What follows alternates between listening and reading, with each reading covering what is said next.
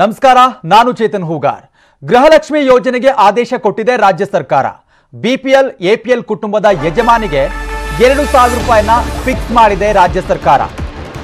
ಇನ್ನು ಕಾರ್ಡ್ನಲ್ಲಿ ಯಜಮಾನಿ ಅಂತ ನಮೂದಿಸಿದ್ರೆ ಮಾತ್ರ ಹಣ ಸಿಗುತ್ತೆ. ಇದು ಬಹಳ ಇಂಪಾರ್ಟೆಂಟ್ ಗಮನದಲ್ಲಿ ಇಟ್ಕೋಬೇಕಿದು. ಬಿ ಪಿ ಎಲ್ ಮತ್ತು ಎ ಪಿ ಎಲ್ ಕುಟುಂಬ, ಅಂದರೆ ಆ ಕುಟುಂಬದಲ್ಲಿ ಯಜಮಾನಿ ಅಂತ ನಮೂದಿ ನಮೂದಿಸಿರ್ಬೇಕು ಆ ಕಾರ್ಡಲ್ಲಿ. ಸೊ ಮನೆಯಲ್ಲಿ ಇಬ್ಬರು ಮಹಿಳೆಯರಿದ್ರೆ ಒಬ್ಬರಿಗಷ್ಟೇ ಹಣ ಸಿಗುತ್ತೆ. ಇನ್ನು ಇದಕ್ಕೆ ಟೈಮ್ ಕೂಡ ಕೊಡಲಾಗಿದೆ, ಕಾಲಾವಕಾಶ ಕೊಡಲಾಗಿದೆ. ಜೂನ್ ಹದಿನೈದರಿಂದ ಜುಲೈ ಹದಿನೈದರ ಒಳಗಡೆ ಅರ್ಜಿಯನ್ನು ಸಲ್ಲಿಸಬೇಕು. ಆಗಸ್ಟ್ ಹದಿನೈದರಂದು ಫಲಾನುಭವಿಗಳ ಖಾತೆಗೆ ಎರಡು ಸಾವಿರ ರೂಪಾಯಿ ಜಮೆ ಆಗುತ್ತೆ. ಇನ್ನು ಅದ್ರ ಜೊತೆ ಜೊತೆಗೆ ಆಧಾರ್ ಕಾರ್ಡ್, ಬ್ಯಾಂಕ್ ಖಾತೆ ಜೋಡಣೆ ಕಡ್ಡಾಯ ಮಾಡಲಾಗಿದೆ. ಬ್ಯಾಂಕ್ ಖಾತೆಗೆ ಆಧಾರ್ ಕಾರ್ಡನ್ನು ಕಡ್ಡಾಯವಾಗಿ ಲಿಂಕ್ ಮಾಡಿಸ್ಬೇಕು. ಇನ್ನು ಆಗಸ್ಟ್ ಹದಿನೈದಕ್ಕೆ ಯಜಮಾನಿಗೆ ಹಣ ವಿಚಾರಕ್ಕೆ ಸಂಬಂಧಪಟ್ಟಂಗೆ ಏನೆಲ್ಲ ಮಾನದಂಡಗಳಿದೆ, ಏನೆಲ್ಲ ಕಂಡೀಷನ್ಸ್ ಇದೆ ಅಂತ ನೋಡೋದಾದ್ರೆ B P L A P L ಕುಟುಂಬದ ಯಜಮಾನಿಗೆ ಎರಡು ಸಾವಿರ ರೂಪಾಯಿ ಫಿಕ್ಸ್ ಮಾಡಿದೆ. ಇನ್ನು ಕಾರ್ಡ್ನಲ್ಲಿ ಯಜಮಾನಿ ಅಂತ ನಮೂದಿಸಿದ್ರೆ ಮಾತ್ರ ಹಣ ಸಿಗುತ್ತೆ. ಇನ್ನು ಮನೆಯಲ್ಲಿ ಇಬ್ಬರು ಮಹಿಳೆಯರಿದ್ರೆ ಒಬ್ರಿಗಷ್ಟೇ ಹಣ ಕೊಡ್ತಾರೆ ಇಬ್ಬರಿಬ್ರಿಗೆ ಕೊಡಲ್ಲ.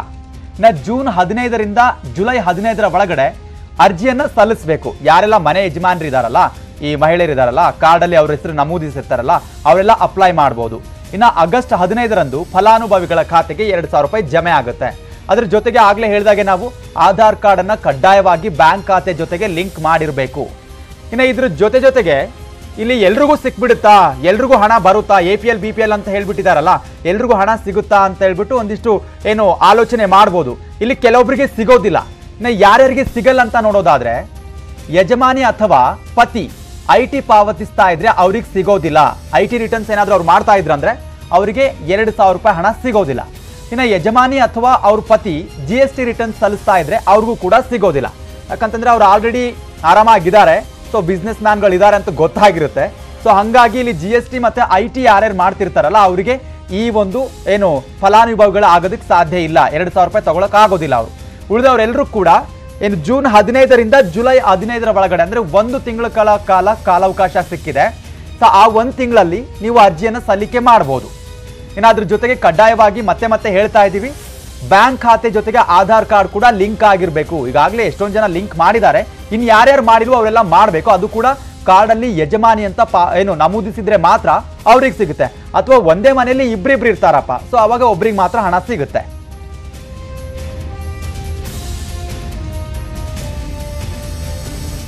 ಇನ್ನು ಗ್ಯಾರಂಟಿ ಗಲಾಟೆ ರಾಜ್ಯದಲ್ಲಿ ಇನ್ನೂ ನಿಲ್ತಾ ಇಲ್ಲ. ಅದರಲ್ಲೂ ಕರೆಂಟ್ ಬಿಲ್ ಫ್ರೀ ಅಂತ ಹೇಳಿ ದಿನಕ್ಕೊಂದು ಕ್ಷಣಕ್ಕೊಂದು ಮಾನದಂಡ ಮುಂದುವರಿಸ್ತಾ ಇದೆ ಸರ್ಕಾರದ ನಿಲುವು. ಜನರನ್ನ ಕನ್ಫ್ಯೂಸ್ ಮಾತ್ರ ಅಲ್ಲ, ಕೋಪಗೊಳ್ಳುವಂತೆ ಕೂಡ ಮಾಡ್ತಾ ಇದೆ.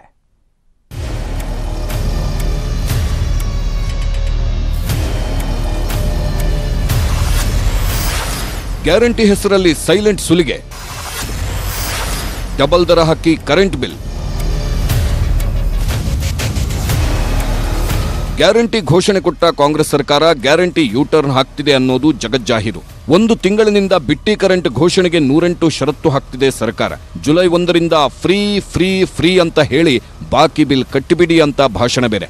ಜನನು ಇವ್ರ ಮಾತು ಕೇಳಿ ಹಳೆ ಬಿಲ್ ಕಟ್ಟೋಣ ಅಂತ ಹೋದ್ರೆ ಕರೆಂಟ್ ಬಿಲ್ ಡಬಲ್ ಡಬಲ್ ಆಗೋಗಿದೆ. ಗದಗದಲ್ಲಿ ಈ ತಿಂಗಳ ಬಿಲ್ ನೋಡಿ ಜನ ಸುಸ್ತೋ ಸುಸ್ತು. ಏನ್ ಪ್ರಾಬ್ಲಮ್ ಆಗೈತ್ರಿ? ಬಿಲ್ ರೇಟ್ ಎಫ್ ಸಿ ಏರೈತ್ರಿ ಎಫ್ ಸಿ ಇರೈತಿ ಅದಕ್ಕೆ ಸ್ವಲ್ಪ ಜಾಸ್ತಿ ಬಂದೈತ್ರಿ.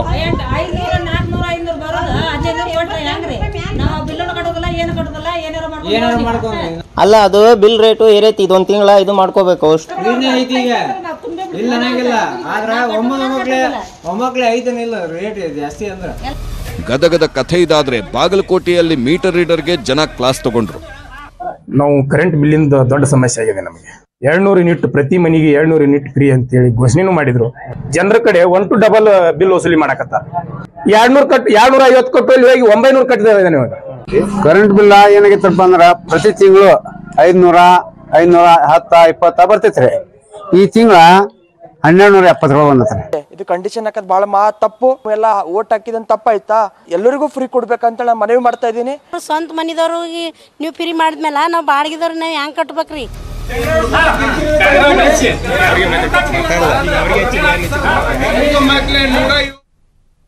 ಇನ್ನು ಈ ಕರೆಂಟ್ ಖಾತೆ ಒಂದ್ ಕಡೆ ಆದ್ರೆ ಗೋಹತ್ಯೆ ಮ್ಯಾಟ್ರು ಇನ್ನೂ ಕೂಡ ತಣ್ಣಗಾಗ್ತಾ ಇಲ್ಲ. ಕೈ ಹಾಕಿದ್ರೆ ಪ್ರತಿಭಟನೆ ಫಿಕ್ಸ್ ಅಂತ ಬಿಜೆಪಿ ಕೂತಿದ್ರೆ ಸರ್ಕಾರ ಡ್ಯಾಮೇಜ್ ಆಗದಂತೆ ಮ್ಯಾನೇಜ್ ಮಾಡೋ ಯತ್ನ ಮಾಡ್ತಾ ಇದೆ. ಎಮ್ಮೆ ಕೋಣ ಹಸಿಯಾಗಿ ಕಡಿಬಾರ್ದು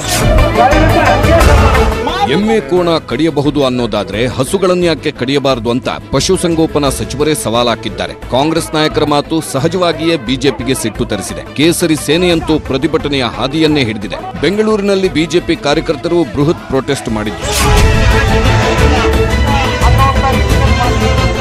ಗದಗದಲ್ಲಿ ರಾಮಸೇನೆ ಮುಖಂಡರು ಗೋಪೂಜೆ ಮಾಡೋ ಮೂಲಕ ಕಾಂಗ್ರೆಸ್ ವಿರುದ್ಧ ಹೋರಾಟ ನಡೆಸಿದ್ದಾರೆ. ಕೊಪ್ಪಳದಲ್ಲಿ ವಿದ್ಯುತ್ ದರ ಏರಿಕೆ, ಗೋಹತ್ಯೆ ನಿಷೇಧ ಕಾಯ್ದೆ ಹಿಂಪಡೆಯಲು ಮುಂದಾಗಿರುವ ರಾಜ್ಯ ಸರ್ಕಾರದ ವಿರುದ್ಧ ಸಂಸದ ಸಂಗಣ್ಣ ಕರಡಿ ನೇತೃತ್ವದಲ್ಲಿ ಪ್ರತಿಭಟನೆ ಮಾಡಲಾಯಿತು.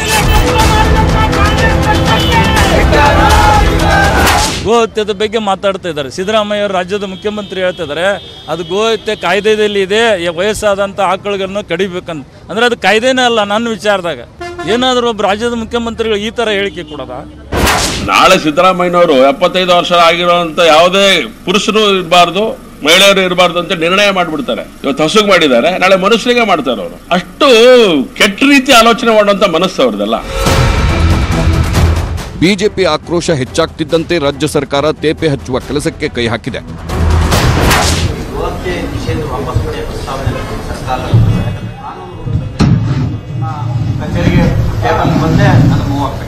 ಸರ್ಕಾರದ ಎದುರಿಗೆ ಯಾವುದೇ ಆ ರೀತಿಯಾಗಿರ್ತಕ್ಕಂಥ ಪ್ರಸ್ತಾವನೆ ಸದ್ಯಕ್ಕೆ ಎಂಬಿ ಪಾಟೀಲ್ ಯತ್ನಾಳ್ ನಡುವೆ ಟ್ವೀಟ್ ವಾರ್ ಜೋರಾಗಿ ನಡೀತಾ ಇದೆ. ಎಂಬಿ ಪಾಟೀಲ್ ಟ್ವೀಟ್ಗೆ ಯತ್ನಾಳ್ ಎದುರೇಟನ್ನ ಕೊಟ್ಟಿದ್ದಾರೆ.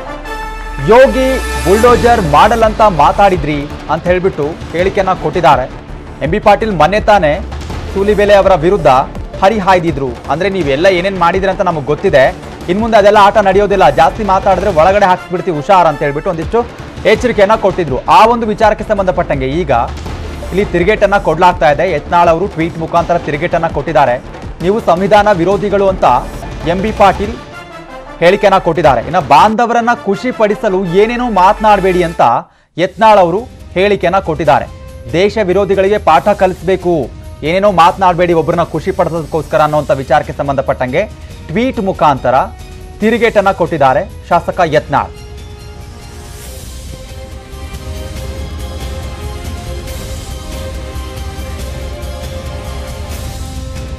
ಬೆಳಗಾವಿ ವಿಧಾನಸಭಾ ಕ್ಷೇತ್ರದ ಲೆಕ್ಕದಲ್ಲಿ ರಾಜ್ಯದಲ್ಲೇ ಎರಡನೇ ಅತಿದೊಡ್ಡ ಜಿಲ್ಲೆ. ಆಡಳಿತಾತ್ಮಕ ರಾಜಕೀಯ ಕಾರಣಕ್ಕೆ ಆಗಾಗ್ಗೆ ಜಿಲ್ಲೆ ವಿಭಜನೆಯ ಮಾತು ಗಾಳಿಯಲ್ಲಿ ತೇಲುತ್ತಲೇ ಇರುತ್ತೆ. ಇವತ್ತು ಈ ಗಾಳಿ ಮಾತಿಗೆ ಶಕ್ತಿ ತುಂಬಿದ್ದಾರೆ ನೂತನ ಸಚಿವೆ ಹೆಬ್ಬಾಳ್ಕರ್. ಜಿಲ್ಲಾ ವಿಭಜನೆ ಆಗಬೇಕು. ಆಡಳಿತ ದೃಷ್ಟಿಯಿಂದ ಆಗಲೇಬೇಕು. ಬೆಳಗಾವಿ ವಿಭಜನೆ ಕೂಗು ಜೋರಾಗಿದೆ. ಈ ಬಾರಿ ಕಾಂಗ್ರೆಸ್ನ ಸಚಿವರೇ ಜಿಲ್ಲೆ ಒಡೆಯಬೇಕು ಎನ್ನುತ್ತಿದ್ದಾರೆ. ಅಭಿವೃದ್ಧಿ ಆಗಲೇಬೇಕು ಅಂದ್ರೆ ಜಿಲ್ಲೆ ಒಡೆಯಿರಿ ಎಂದು ಲಕ್ಷ್ಮಿ ಹೆಬ್ಬಾಳ್ಕರ್ ಸತೀಶ್ ಜಾರಕಿಹೊಳಿ ಆಗ್ರಹಿಸಿದ್ದಾರೆ. ಅಭಿವೃದ್ಧಿ ತ್ವರಿತಗತಿಯಲ್ಲಿ ಆಗಬೇಕು ಅಂತಂದ್ರೆ ಜಿಲ್ಲಾ ವಿಭಜನೆ ಆಗಬೇಕು. ಅದು ಎಲ್ಲರ ಒಂದು ಸಹಮತದಿಂದ ಆಗಬೇಕು. ಬರೀ ಅದು ಲಕ್ಷ್ಮೀ ಹೆಬ್ಬಾಳ್ಕರ್ ಹೇಳಿಕೆ ಅಥವಾ ಪ್ರಕಾಶ್ ಹುಕ್ಕೇರಿ ಅವರ ಹೇಳಿಕೆ ಸತೀಶ್ ಅಣ್ಣನ ಹೇಳಿಕೆ ಅದು ಅಪ್ರಸ್ತುತ. ಆಡಳಿತ ದೃಷ್ಟಿಯಿಂದ ಆಗಲೇಬೇಕು. ಆಗಲೇಬೇಕಂದ್ರೆ ಪ್ರಶ್ನೆ ಇಲ್ಲ. ನಾವು ಮುಖ್ಯಮಂತ್ರಿಗೆ ಒತ್ತಡ ಮಾಡ್ತೀವಿ. ನಾವು ವಿರೋಧ ಪಕ್ಷದಾಗಿದ್ದಾಗ ಹೇಳಿದ್ವಿ ಹಿಂದೆ ನಾವು ಮಂತ್ರಿಗಳಿದ್ದಾಗ ಹೇಳಿದ್ವಿ ಇವು ಕೂಡ ಬಹಳ ದೊಡ್ಡ ಜಿಲ್ಲೆ ಅದು. ಇದು ನಡೆಸೋದು ಅಷ್ಟು ಸುಲಭದ ಕೆಲಸ ಅಲ್ಲ ಇಷ್ಟು ದೊಡ್ಡ ಜಿಲ್ಲೆ. ಐವತ್ತು ಲಕ್ಷ ಜನ ಇದ್ದಾರೆ ಹದಿನೆಂಟು ಜನ ಎಂ ಎಲ್ ಎ ಎರಡೂವರೆ ಎಂ ಪಿ ಇದ್ದಾರೆ. ಬೆಳಗಾವಿ ಜಿಲ್ಲೆಯಲ್ಲಿ ಹದಿನೆಂಟು ವಿಧಾನಸಭೆ ಎರಡು ಲೋಕಸಭಾ ಕ್ಷೇತ್ರಗಳಿವೆ. ಐನೂರ ಆರು ಗ್ರಾಮ ಪಂಚಾಯಿತಿಗಳಿವೆ. ಹದಿನಾಲ್ಕು ತಾಲೂಕುಗಳಲ್ಲಿ ಐವತ್ತೈದು ಲಕ್ಷ ಜನಸಂಖ್ಯೆ ಇದೆ. ಚಿಕ್ಕೋಡಿ ಗೋಕಾಕ್ ಹುಕ್ಕೇರಿ ಅಥಣಿ ಖಾನಾಪುರ ದೂರ ಇದ್ದು ಜಿಲ್ಲಾ ಕೇಂದ್ರಕ್ಕೆ ಬರಲು ನೂರರಿಂದ ಇನ್ನೂರು ಕಿಲೋಮೀಟರ್ ಕ್ರಮಿಸಬೇಕು. ಒಂದು ವೇಳೆ ಬೆಳಗಾವಿ ಜಿಲ್ಲೆ ಒಡೆದ್ರೆ ಬೆಳಗಾವಿ, ಗೋಕಾಕ್, ಚಿಕ್ಕೋಡಿ ಜಿಲ್ಲೆಗಳು ಉದಯಿಸಬಹುದು. ಗೋಕಾಕ್ ಬಿಟ್ಟರೂ ಚಿಕ್ಕೋಡಿ ಪ್ರತ್ಯೇಕ ಜಿಲ್ಲೆ ಆದರೂ ಅಚ್ಚರಿಯಿಲ್ಲ ಸ್ವಾಮೀಜಿಗಳನ್ನ ಹನಿ ಟ್ರ್ಯಾಪ್ ಮಾಡೋ ಪ್ರಕರಣಗಳು ಇತ್ತೀಚೆಗೆ ಬೆಳಕಿಗೆ ಬರ್ತಾ ಇದ್ದಾವೆ. ಇಲ್ಲೊಂದು ಕೇಸ್ ಹನಿ ಟ್ರ್ಯಾಪ್ ರೂಪದಲ್ಲೇ ನಡೆದಿದೆ. ಸ್ವಾಮೀಜಿಯೊಬ್ಬರು ಮೂವತ್ತೈದು ಲಕ್ಷ ಹಣ ಕಳೆದುಕೊಂಡು ಕಂಗಾಲಾಗಿದ್ದಾರೆ. ಯಾರು ಆ ಸ್ವಾಮೀಜಿ? ಏನಾಯ್ತು? ಈ ಸ್ಟೋರಿ ನೋಡಿ. ಸುಂದರಿಯಿಂದ ಸ್ವಾಮೀಜಿಗೆ ಮಕ್ಮಲ್ ಟೋಪಿ. ಹಂತ ಹಂತವಾಗಿ ಮೂವತ್ತೈದು ಲಕ್ಷ ಪೀಕಿದ ಬ್ಯೂಟಿ ಗ್ಯಾಂಗ್. ಐವತ್ತು ಸಾವಿರ, ಮೂವತ್ತು ಸಾವಿರ, ಒಂದು ಲಕ್ಷ. ಹೀಗೆ ಸಾವಿರ ಲಕ್ಷಗಳ ಲೆಕ್ಕದಲ್ಲಿ ಹಣ ಟ್ರಾನ್ಸ್ಫರ್ ಆಗಿದೆ. ಇದು ಯಾವುದೋ ಬ್ಯುಸಿನೆಸ್ ಟ್ರಾನ್ಸಾಕ್ಷನ್ ಅಲ್ಲ. ಅಸಲಿಗೆ ಸ್ವಾಮೀಜಿಯೊಬ್ಬರು ಅಪರಿಚಿತ ಮಹಿಳೆಯೊಬ್ಬರಿಗೆ ಕಳುಹಿಸಿರೋ ಹಣ. ಬೆಂಗಳೂರು ಗ್ರಾಮಾಂತರ ಜಿಲ್ಲೆಯ ನೆಲಮಂಗಲ ತಾಲೂಕಿನ ಕಂಬಾಳು ಮಠದ ಸ್ವಾಮೀಜಿ ಚನ್ನವೀರ ಶಿವಾಚಾರ್ಯ ಶ್ರೀಗಳು ವರ್ಷ ಎಂಬಾಕೆಗೆ ಹಣ ಕಳುಹಿಸಿದ್ದಾರೆ. ಮಹಿಳೆ ಹಾಗೂ ಆಕೆಯ ಟೀಮ್ ಬ್ಲಾಕ್ ಮೇಲ್ ಮಾಡಿ ಮೂವತ್ತೈದು ಲಕ್ಷ ಹಣ ವಸೂಲಿ ಮಾಡಿದ್ದಾರೆ ಎನ್ನಲಾಗಿದ್ದು, ದಾಬಸ್ಪೇಟೆ ಠಾಣೆಯಲ್ಲಿ ಪ್ರಕರಣ ದಾಖಲಾಗಿದೆ.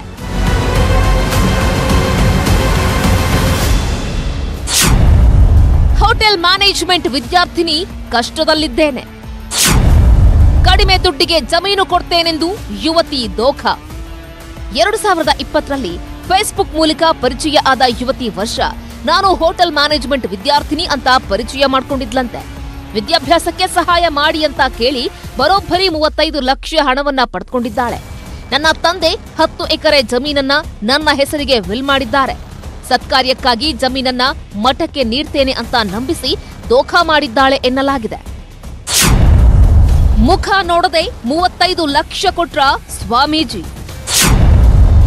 ವರ್ಷ ಅನ್ನೋ ಹೆಸರೇ ಸುಳ್ಳು ಅನ್ನೋದು ಖಾತರಿ. ಮೂವತ್ತೈದು ಲಕ್ಷ ಹಣವನ್ನ ಸ್ವಾಮೀಜಿ ಕಳೆದುಕೊಂಡ ಬಳಿಕ ಮಹಿಳಾ ಸಮಾಜದ ಹೆಸರಿನಲ್ಲಿ ಬ್ಲಾಕ್ ಮೇಲ್ ಮಾಡಲಾಗಿದೆ ಎನ್ನಲಾಗಿದೆ. ಅವನಿಕಾ ಕಾವೇರಿ, ಪ್ರದೀಪ್ ನಾಯಕ್, ಪ್ರೇಮ, ಮಂಜುಳಾ ಅನ್ನೋರು ಬಂದು ಈ ಪ್ರಕರಣವನ್ನ ಮುಚ್ಚಿ ಹಾಕಲು ಐವತ್ತು ಲಕ್ಷ ಹಣ ಕೊಡಬೇಕು. ಇಲ್ಲದೇ ಇದ್ರೆ ನಿಮ್ಮ ಮೇಲೆ ಇಲ್ಲಸಲ್ಲದ ಆರೋಪಗಳನ್ನ ಮಾಡ್ತೇವೆ ಅಂತ ಬೆದರಿಸಿದ್ರಂತೆ.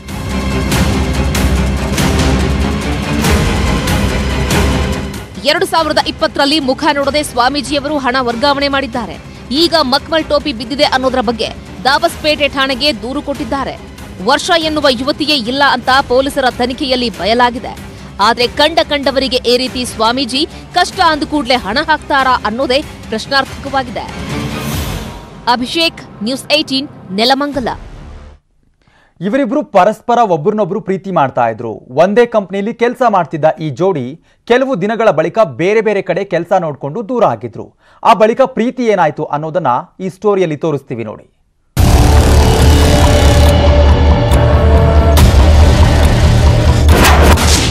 ಸಿಲಿಕಾನ್ ಸಿಟಿಯಲ್ಲಿ ಪ್ರಿಯಕರನಿಂದಲೇ ಪ್ರೇಯಸಿ ಹತ್ಯೆ. ಹೈದರಾಬಾದ್ನಿಂದ ಬಂದು ಕೊಂದು ಪ್ರೇಮಿ ಎಸ್ಕೇಪ್. ಈ ಫೋಟೋದಲ್ಲಿ ಕಾಣ್ತಾ ಇರೋ ಈಕೆ ಹೆಸರು ಆಕಾಂಕ್ಷ ವಿದ್ಯಾಸಾಗರ್. ಎರಡು ವರ್ಷಗಳ ಹಿಂದೆ ಬೆಂಗಳೂರಿಗೆ ಬಂದಿದ್ದ ಬಿಸಿಎ ಪದವೀಧರೆ ಆಕಾಂಕ್ಷ ವಿದ್ಯಾಸಾಗರ್ ಖಾಸಗಿ ಕಂಪನಿಯಲ್ಲಿ ಸೇಲ್ಸ್ ಎಕ್ಸಿಕ್ಯೂಟಿವ್ ಆಗಿ ಕೆಲಸ ಮಾಡ್ತಿದ್ರು. ಜೀವನ್ ಭೀಮಾನಗರದ ಕೋಡಿಹಳ್ಳಿಯ ಅಪಾರ್ಟ್ಮೆಂಟ್ನಲ್ಲಿ ವಾಸವಿದ್ದ ಆಕಾಂಕ್ಷ ನಿನ್ನೆ ಕೊಲೆಯಾಗಿದ್ದಾಳೆ. ಈಕೆಯ ಸಾವಿಗೆ ಪ್ರಿಯಕರನೇ ಕಾರಣ ಅನ್ನೋ ಶಂಕೆ ಮೂಡಿದೆ.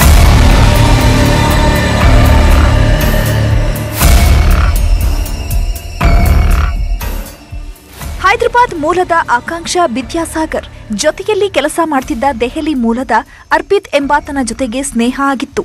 ಯುವಕ ಅರ್ಪಿತ್ ಹಾಗೂ ಯುವತಿ ಆಕಾಂಕ್ಷ ಪ್ರೀತಿ, ಪ್ರೇಮ, ಪ್ರಣಯ ಅಂತ ಸುತ್ತಾಡ್ತಿದ್ರು. ಕೆಲವು ವರ್ಷಗಳ ಕಾಲ ಜೊತೆ ಜೊತೆಯಾಗಿ ಮರ ಸುತ್ತಿದ ಬಳಿಕ ಬೇರೆ ಬೇರೆ ಕಡೆಯಲ್ಲಿ ಕೆಲಸ ನೋಡಿಕೊಂಡು ದೂರ ಆಗಿದ್ರು. ಹೈದರಾಬಾದ್ನಲ್ಲಿ ಕೆಲಸಕ್ಕೆ ಸೇರಿದ್ದ ಅರ್ಪಿತ್ ಆಗಾಗ ಸ್ನೇಹಿತೆಯನ್ನು ಭೇಟಿ ಮಾಡಲು ನಗರಕ್ಕೆ ಬರ್ತಿದ್ದ. ಅದೇ ರೀತಿ ನಿನ್ನೆ ಕೂಡ ಅಪಾರ್ಟ್ಮೆಂಟ್ಗೆ ಎಂಟ್ರಿ ಕೊಟ್ಟಿದ್ದ.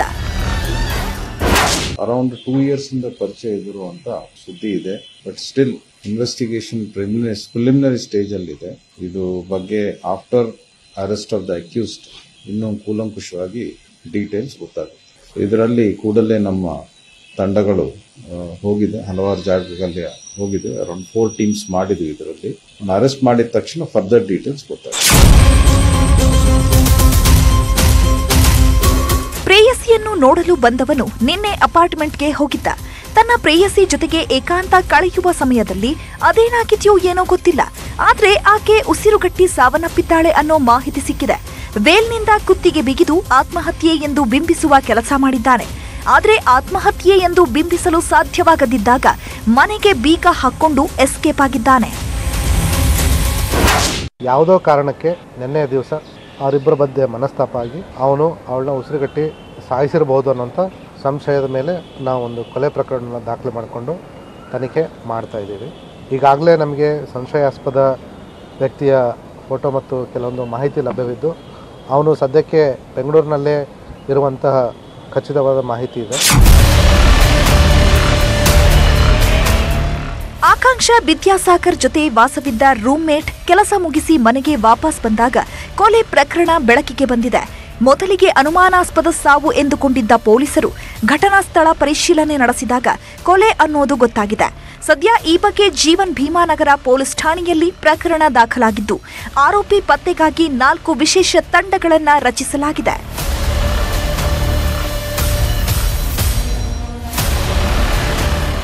Muniraju crime bureau, news eighteen ಬೆಂಗಳೂರಿನಲ್ಲಿ ಇನ್ಮುಂದೆ ಸಂಚಾರಿ ನಿಯಮಗಳನ್ನು ಉಲ್ಲಂಘಿಸೋ ಮುನ್ನ ಬಿ ಕೇರ್ಫುಲ್ ಆಗಿರಿ. ಟ್ರಾಫಿಕ್ ಪೊಲೀಸರು ಇಲ್ಲ ಅಂತ ಮನಬಂದಂತೆ ನಿಯಮ ಉಲ್ಲಂಘಿಸಿ ಚಾಲನೆ ಮಾಡಿದ್ರೆ ಕೇಸ್ ಗ್ಯಾರಂಟಿ. ಕೇಸ್ ಹಾಕ್ತಾರೆ ಅಷ್ಟೇ ಅನ್ಕೊಂಡ್ರೆ ನಿಮ್ಮ ಊಹೆ ತಪ್ಪಾಗುತ್ತೆ. ಇನ್ನೇನ್ ಮಾಡ್ತಾರೆ? ಈ ಸ್ಟೋರಿ ನೋಡಿ ಗೊತ್ತಾಗುತ್ತೆ.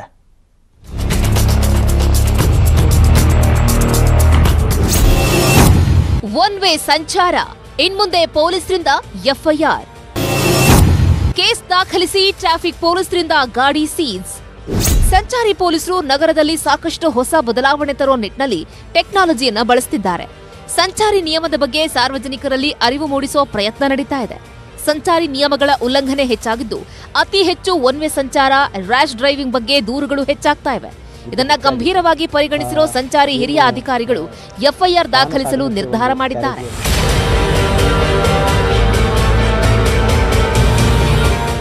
ಟ್ರಾಫಿಕ್ ಜಂಕ್ಷನ್ಗಳಲ್ಲಿ ಪೊಲೀಸ್ ಸಿಬ್ಬಂದಿ ಇಲ್ಲ ಅಂತ ಮನಬಂದಂತೆ ಚಾಲನೆ ಮಾಡಿದ್ರೆ ಕ್ರಿಮಿನಲ್ ಕೇಸ್ ಹಾಕಲಿದ್ದಾರೆ. ಪ್ರಮುಖ ಜಂಕ್ಷನ್ಗಳು, ಮುಖ್ಯ ರಸ್ತೆ ಹಾಗೂ ಸಿಗ್ನಲ್ಗಳಲ್ಲಿ ಹೈಟೆಕ್ ಕ್ಯಾಮೆರಾ ಬಳಕೆ ಮಾಡ್ತಿದ್ದಾರೆ.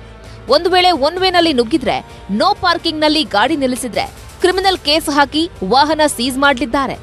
ನೋ ಪಾರ್ಕಿಂಗ್ನಲ್ಲೂ ವಾಹನ ಪಾರ್ಕ್ ಮಾಡಿದ್ರು ಕ್ರಿಮಿನಲ್ ಕೇಸ್ ಬೀಳಲಿದೆ. ಐಪಿಸಿ ಸೆಕ್ಷನ್ ಇನ್ನೂರ ಎಂಬತ್ಮೂರರ ಅಡಿಯಲ್ಲಿ ಎಫ್ಐಆರ್ ದಾಖಲು ಮಾಡಲಿದ್ದಾರೆ.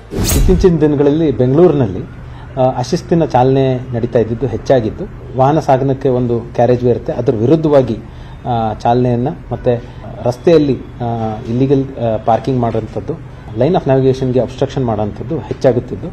ಆ ನಿಟ್ಟಿನಲ್ಲಿ ನಾವು ಯಾರು ಅಗೇನ್ಸ್ಟ್ ಒನ್ ವೇ ಮತ್ತು ಅಗೇನ್ಸ್ಟ್ ಫ್ಲೋ ಆಫ್ ಟ್ರಾಫಿಕ್ ಬರ್ತಾರೆ. ಅವ್ರ ವಿರುದ್ಧ ನಾವು ಅವ್ರ ಕ್ರಿಮಿನಲ್ ಕೇಸನ್ನು ದಾಖಲೆ ಮಾಡ್ತಾ ಸೆಕ್ಷನ್ ಟು ಏಯ್ಟಿ ತ್ರೀ ಅಡಿಯಲ್ಲಿ.